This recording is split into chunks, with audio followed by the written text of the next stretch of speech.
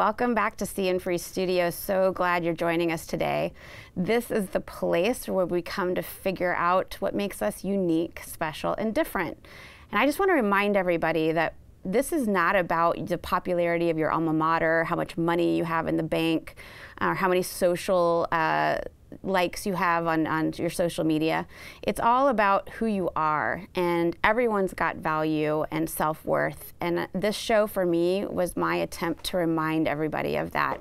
So I hope it's done that for you, for all of you viewers that join us every week. I really appreciate you, and I want you to know you are unique, special, and different.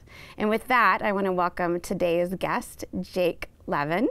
Jake is an experienced marketing leader with a passion for growing companies from the ground up.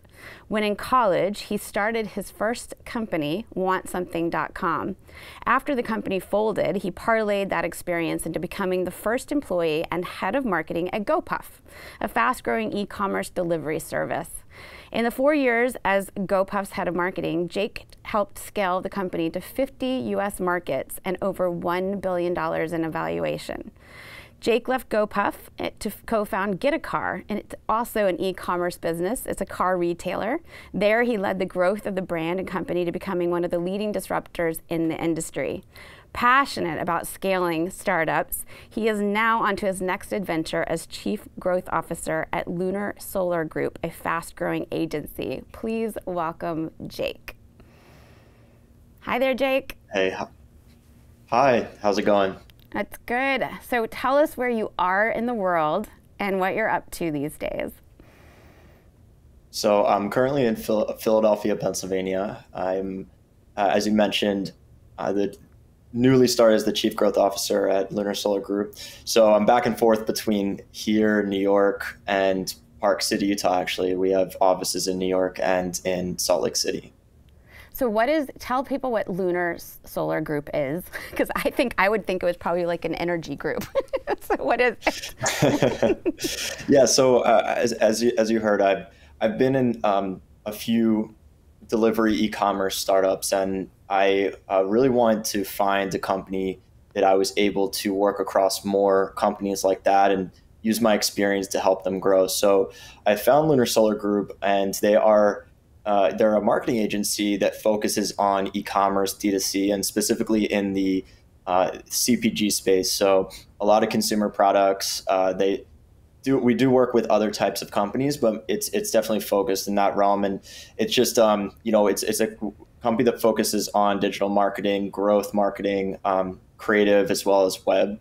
But pretty much the goal of the the agency is to be able to take an e-commerce brand and scale it up from either day one uh, to you know some of the companies we've worked with we've been with them from day one and now they're worth hundreds of millions of dollars but also on the flip side uh, some of the bigger companies out there that want to uh, you know come on to uh, you know the e-commerce trend that's going on in the last five ten years uh, some of these big CPG brands that you would see in a, a retail store, they want to start selling online too. So we've been able to work with them to develop their websites, their marketing plans, and then uh, scale them up on the e-commerce side. So it's been uh, definitely a, really fun experience to apply some of the knowledge I had on the brand sides with the companies that I've been a part of to, uh, you know, just a whole lot of companies uh, in various industries.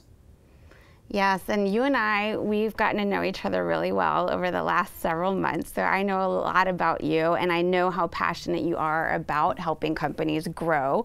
And, um, you know, I'm really curious uh, what you can share with people about what makes you tick? Like, what makes somebody want to go in and help all of these organizations grow um, for a living? Uh, you know, there's got to be something in there that's fueling you.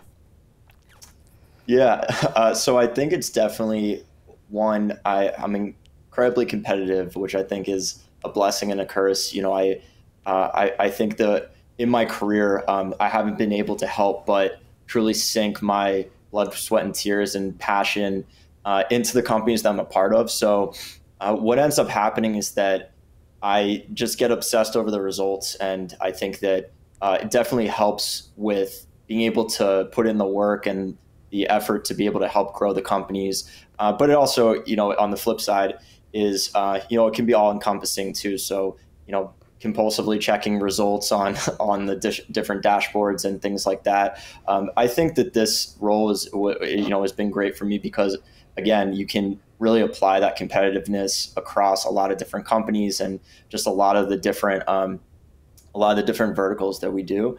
But I, I think what what really makes me tick is that I, I also um, I I'm, I'm hard to satisfy. So there's always this just need and urge to continue moving forward and kind of in, insatiable thirst to kind of continue growing. So I always like to say I like to be, um, you know, sort of on the the inflection of growth in, in a company. I want to kind of be part of their their really big step up, whether it be from the beginning to the to the next step or going into a company that's you know has gotten started but needs kind of uh, fuel to get to to the next tier. So just being able to level up a company. That's great. So where does that come from? So I mean, there's two things right there, right? Like there's competition. You you know you like to compete, you like to win. Sounds like, and then there's also the fact that you like to keep going, like to push for growth and and push probably beyond what people think are their limits, their potential. Where does that come from? Is that deep rooted? Is it something you picked up as a kid? Where does it come from? uh, i feel like I've always had a, a chip on my shoulder. I, I, I don't know exactly where it comes from per se. It's it's I think some of it's just you know uh, in there somewhere genetically. But um, I even it's funny. I even tell uh, my my family that when when good things do happen or uh, you know accomplishments are had to not you know to not brag about me or say anything positive because I, I like to kind of keep the tenacity and um, be able to continue to uh, to try to get something new, something different, and and push forward and continue to try to improve. So, um, I mean, I, I just think that I I have this, I guess, anxiety behind feeling um, stagnant. So it's really just comes down to like I feel uncomfortable if I'm not uh, doing something to to grow or push forward. So it's it's um like I said, it's something that's exciting, but it also can be a little bit tormenting too. well, let's talk about that because we don't always talk about that on this show, and I know you well enough to know that I know you'll you'll talk about it. So, I mean, what is the flip side of, of that being, you know, the thing that fuels you? What is the what's the torment? What what you know what problems can it cause? Well, I think that you, you know, and I've I've watched a lot of videos of of people I admire, whether they be musicians or business people, and I think that there's something in common that um, you know I, I remember watching an interview with a musician that I admired, and they said when they were growing up, all they wanted to do was play for a room of 500 people and they'd be happy. And then they did that, and then they're like, all right, well, I want to play, uh, you know, a bigger arena, 2,000 people, uh, and then so on and so forth until it got to stadiums. And they were just, it never pleased them. So I think on on one side, just that that dri- that drive that you, you kind of need in order to continue growing as a person and as a professional uh, can also be a curse because uh, if you're never going to be satisfied with where you are, uh, then what you, you can end up feeling constantly um, like there's something missing and that, that, that you're not accomplishing what you want to accomplish. So I think that's sort of the flip side is that it can be um, in, in your mind, it can be a little bit, uh, you know, anxiety provoking or, uh, you know, sort of tormenting to continue to want to push and, and not be satisfied with what you current where you currently are.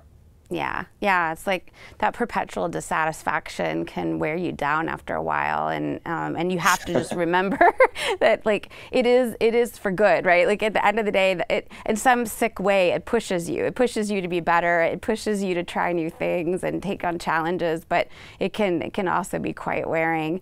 But, but let's talk about okay, so let's talk about it when it's when it's doing its job. I mean, what's your proudest moment? That that thing that you just kept pushing yourself to do um, and achieve that you're really, really proud of?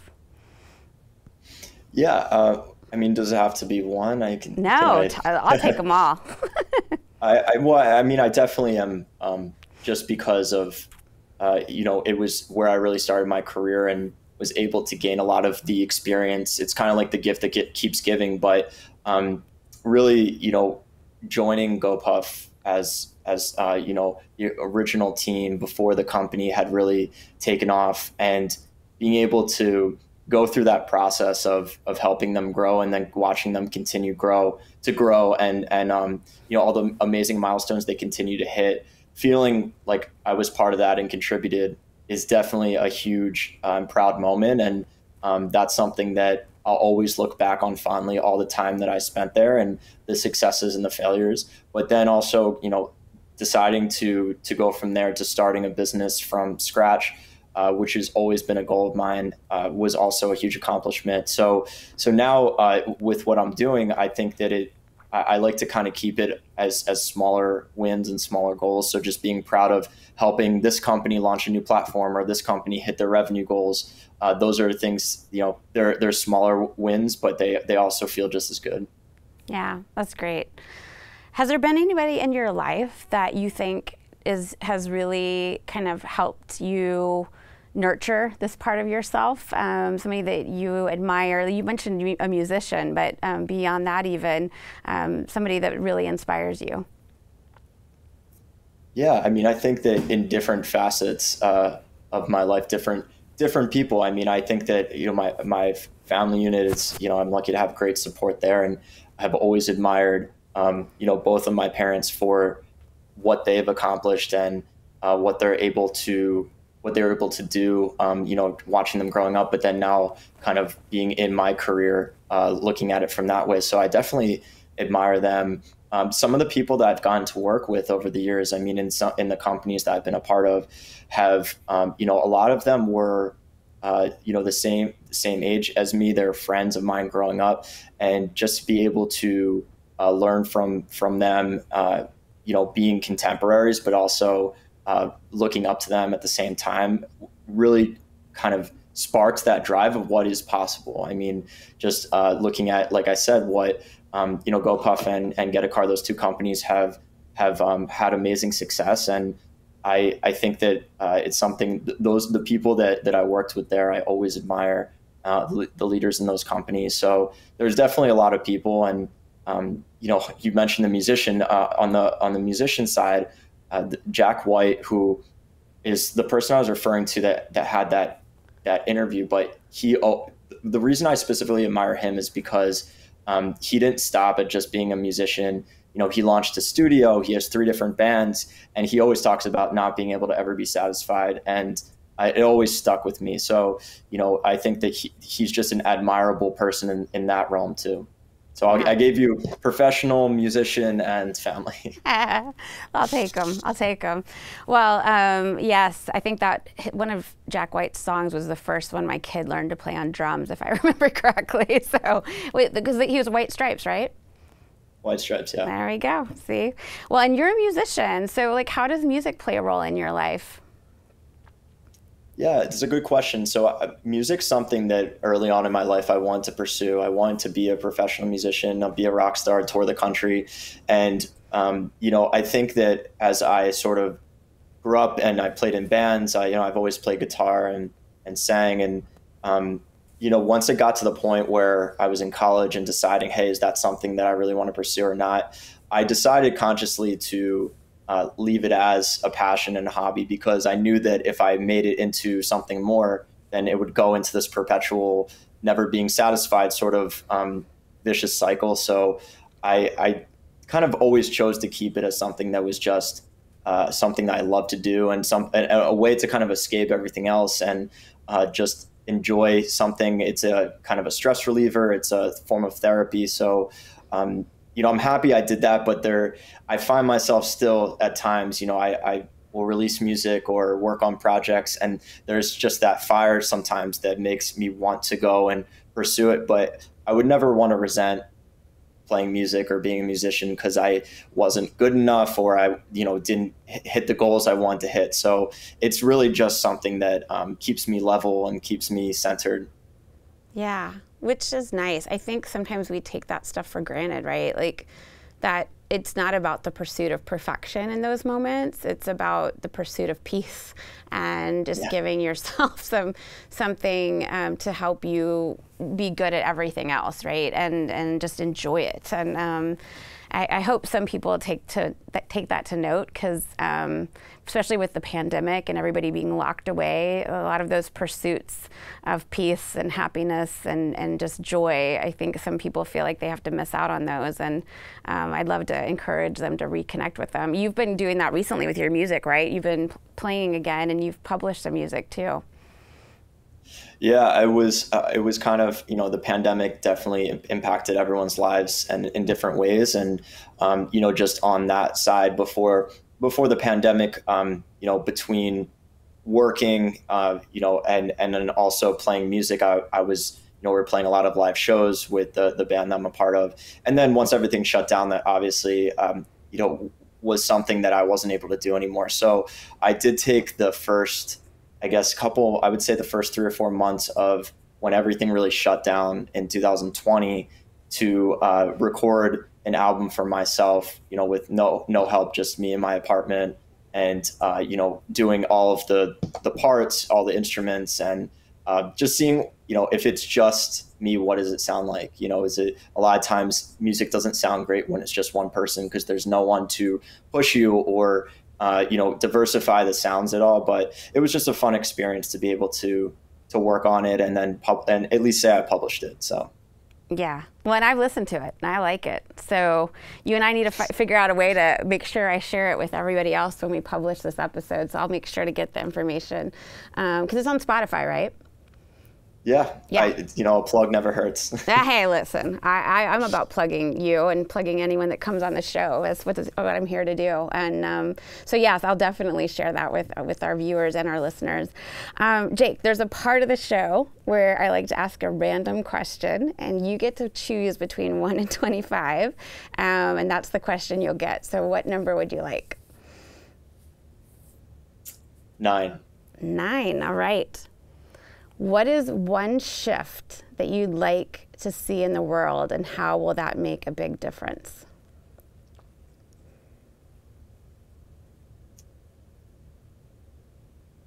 Yeah, I mean, I think, uh, and it, probably the number one thing right now is just more focus on climate change and the way that we live our lives, and not just uh, the people and and organizations that are are rushing to make huge impacts, but just really the everyday things that we do and how to just learn to live in a world that's more sustainable. And it's already started. You know, I think in in a lot of cities they're banning plastic um, plastic bags, and just I think us as humans we need to kind of be forced into uh, change, and it's not something that we all choose to do. So I would just like to see government and uh, you know you know, in the U.S. at least, government to force us into more change so that we can do our best to try to reverse some of the the damage that's already been done.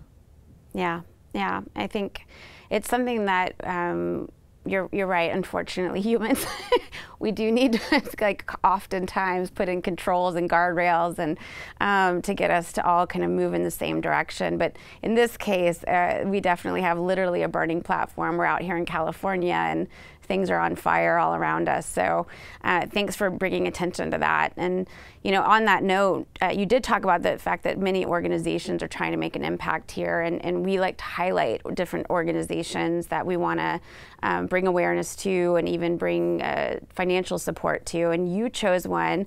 Um, it's is it 350 or 350.org?